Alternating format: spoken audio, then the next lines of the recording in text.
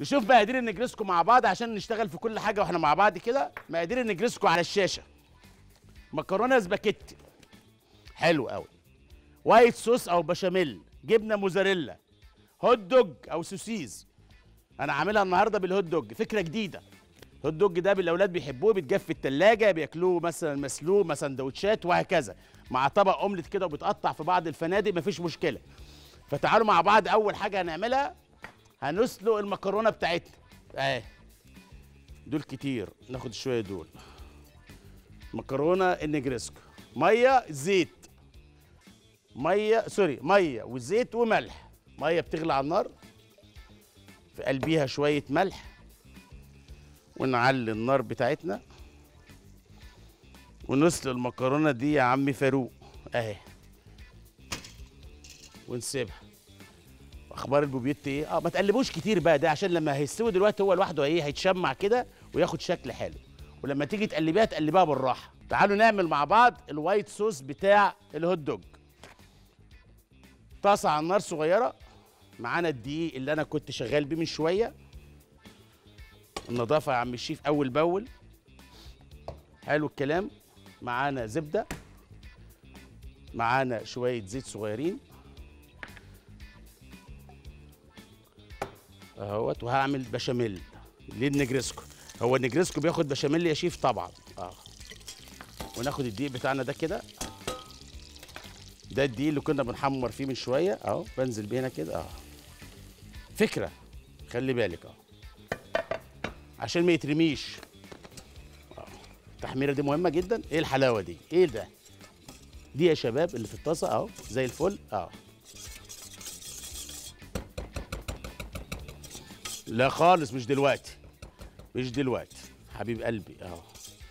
التحميرة دي كده اهو زي الفل. التحميرة دي مهمة جدا. ليه يا شيف؟ عشان أنا بحب البشاميل أو الدقيق يتحمر في قلب الزبدة قبل ما أنزل بالحليب. أحط له كمان مكعب زبدة زي الفل. آه لغاية لما أشم ريحة تحميرة الدقيق. هتقول لي الاحمرار ده جه منين؟ إحنا فاكرين الدقيق ده كان معانا إيه؟ حاطين فيه كركم وحاطين فيه بابريكا. وحاطين فيه زعتر كمان. ننزل بالحليب. يا ويلي ونقلب كده مرحلة أولى لغاية لما يبقى مزيج متماسك.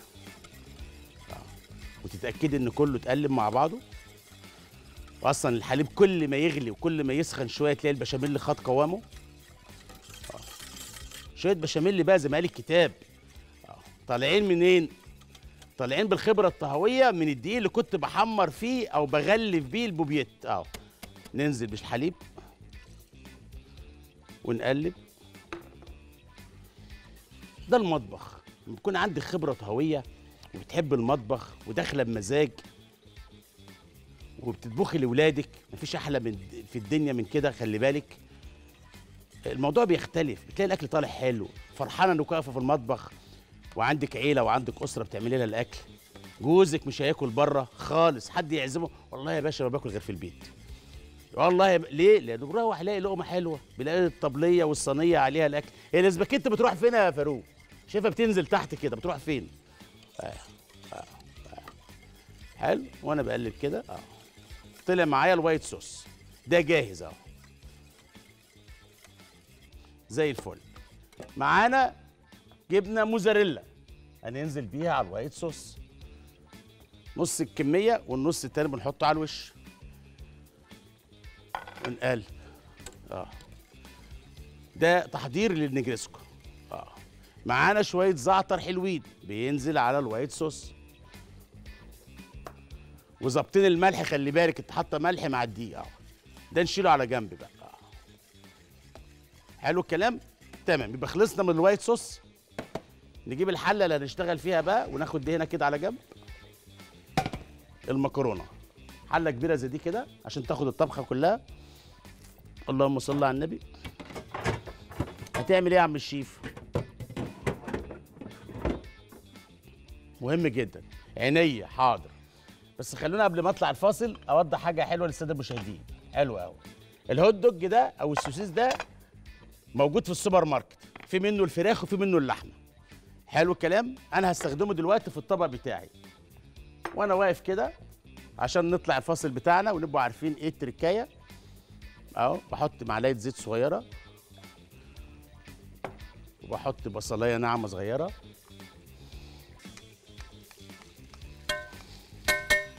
واخد ال hot dog ده كده واشتغل زي ما أنا شغال كده. ممكن تطلعوا فاصل وسيبوني بقى أعيش الجو ده كده؟ آه آه آه من غير بلانشه ولا حاجة. آه حاضر. خلينا ناخد بعدين بعدين ونطلع فاصل صغير وهنرجع للتفاصيل. معانا البوبيت جاهز على النار هنعمل له الصوص بتاعه. مكان التحمير ودي مهمة جدا على فكرة. ومعانا مكرونة نجرسكو بال sausage أو ال hot dog اللي الأولاد بيحبوه. لها تركاية ولها خبرة طهوية. أوعى تروحوا بعيد تابعوني بعد الفاصل. ورجعنا لحضراتكم بعد الفاصل. محلك سرك يا أبو الشيف. المكرونة مدرسة المغازي بتقول لك تكمل سواها مع الصوص التابع ليها مع الكينيا بتاعتها. زي مثلا أحمد المغازي. حلو؟ آه أحمد وقفنا. المغازي. مكرونة نجريسكو بالإيه؟ بال white sauce. وال sausage. تكمل سواها مع ال sausage. آه آه وهكذا. شفت الجو؟ عينيا. زي الفل تمام. هننزل بدول كده. نعم يا غالي. آه. زي الفل تمام. أهو ننزل بال white sauce بتاعنا. نحتفظ بشوية على جنب من ال white sauce. ونقلبها كده. الله. الله على الأكلة دي. وتكمل سواها كلها مع بعضيها ونغطيها. في الآخر نحط عليها شوية ريحان أو بقدونس ونحطها في الكسرولة ونغلفها ببقية ال white sauce مع بعض. عايز أشوف عايز أملي عينيا بيه والله. أنا مع المشاهد. أهو جيبوه. طيب حاضر. المكرونة ال hot dog ال white sauce. إيه الجمال والحلاوة ده يا شيف إيه الطعم ده؟ إيه الجمال ده؟ إيه الانسجام ده؟ مكرونة hot dog ولادنا مقتصر إن إحنا نعمله له سندوتشات ندخله في طبق بيض ده كبيره. أول مرة أشوف الأكلة دي أهو ننزل بهم كده. اللهم صل على النبي. كل ده في قلب الطبق. حلو قوي يا شباب جيبوا ده. لا إله إلا الله. حلو الكلام. ماشي يا برنس حاضر. نمسح كل ده. معانا جبنة ومعانا شوية white sauce عشان دي هتخش الفرن. بعمل إيه بقى؟ تركاية بقى بتاعت الشيف. إيه هي؟ ال white sauce ده كده. أحط عليه بيضة. حلو قوي ومع البيضة دي شوية الجبنة اللي عندي. بقلبهم كويس.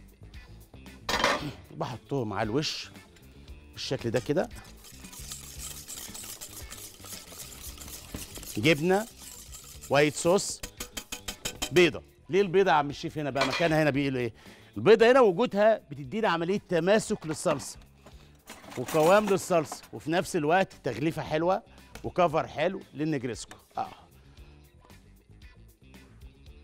شفت الجو ده كده؟ درجة حرارة الفرن عندي 180 دي بالظبط عايزة لها تقريبا 10 دقايق تاخد وش. إنما كل حاجة مستوية. آه. عشان عايز أعمل عصير دلوقتي. العصير ده لأول مرة حصريا أدخل جوز الهند مع الجوافة في السموزي أشيل دي من النار واطفي النار عشان فاتورة الغاز والكهرباء ما تجيش عالية وتبقي واقفة في المطبخ ناسية زي ما هي كده بدخلها الفرن. اللهم صل على النبي. نظرة إيه الحلاوة دي وإيه الجمال ده؟ فرسان التلفزيون المصري أساتذة المصورين. ونصلي على الحبيب يا أبو غازي قلبك يطيب. خلينا نطلع بالمكرونة الحلوة اللي هتخطف الأنظار دلوقتي. ننسى كل حاجة. اللهم صل على النبي. لا ما أقولكش. دي يا باشا. طالعة من الفرن كمان. إيه الحلاوة دي؟ إيه الحلاوة دي يا شيخ؟ لا عايز أقول لك على حاجة. الهوت دوج هنا إحنا غيرنا مدرسته. ده محصور مع طبق بيض وخلص الكلام. مكانها حلو كده. آه. مكانها حلو كده يا رجالة. قول اهو أنا عايز أشوفها عايز أشوفها.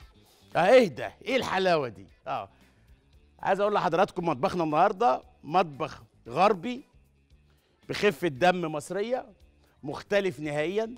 قدرت إن أنا أغير منه اللي أنا حابه وقلت لحضراتكم حسب رغبة ولادكم إحنا بن... بن... بنألف الأكلة وبنشوف مقاديرها ونعملها حسب رغبة ولادنا.